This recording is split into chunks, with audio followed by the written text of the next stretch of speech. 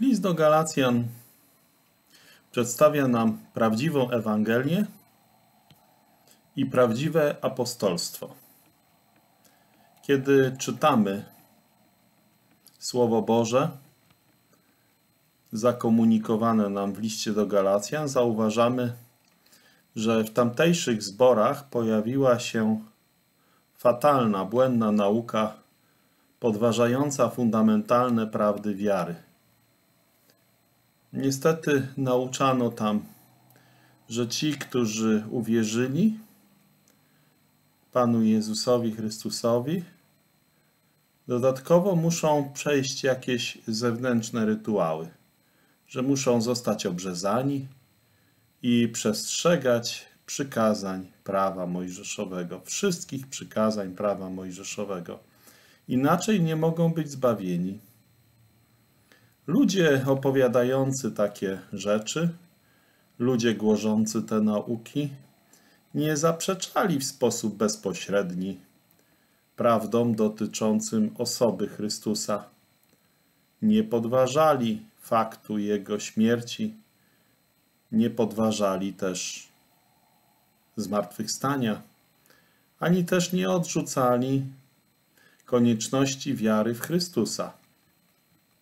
Fałsz i zakłamanie głoszonej przez nich nauki polegały na utrzymywaniu, że wiara w Chrystusa i Jego dzieło nie wystarczają do osiągnięcia zbawienia. Ta błędna doktryna, która odwołuje się do cielesnej natury człowieka, głosiła, że zbawienia wiecznego nie można otrzymać wyłącznie dzięki samemu dziełu Chrystusa, ale że do tego dzieła Chrystusa coś trzeba dołożyć. Zakładała ona konieczność zaangażowania się człowieka w sprawę własnego zbawienia poprzez wykonywanie własnych uczynków. W ten sposób podważając całkowitą wystarczalność dzieła Pana – oraz usprawiedliwienie z wiary. Nauka ta została wprowadzona do zborów w Galacji przez nauczycieli zachowujących zakon, twierdzących, że zachowują zakon, zachowujących zakon lub prawo.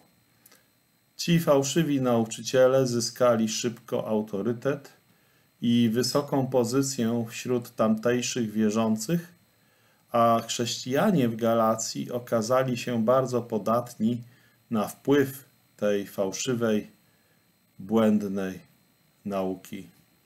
Atak fałszywych nauczycieli tego błędu był wymierzony przeciwko prawdzie, chociaż ich nauka bezpośrednio nie zaprzeczała jej samej, lecz raczej skierowana była przeciwko nauczającemu prawdy apostołowi Pawłowi.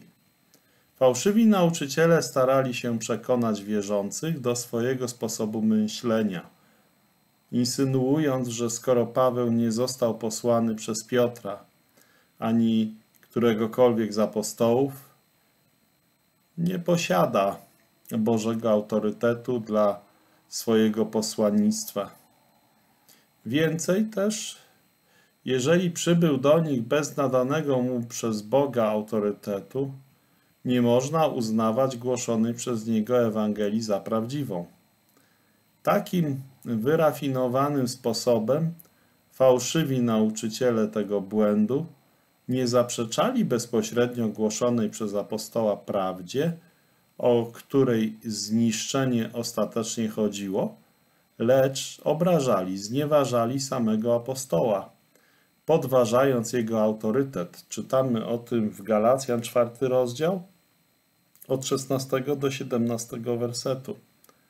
Taki podstępny sposób doprowadził do osiągnięcia celu. Jakże często dzisiaj ci, którzy uważają się za członków ludu Bożego, działają tą samą metodą, stosując tę samą taktykę podczas toczących się w zborze różnych kłótni różnych sporów.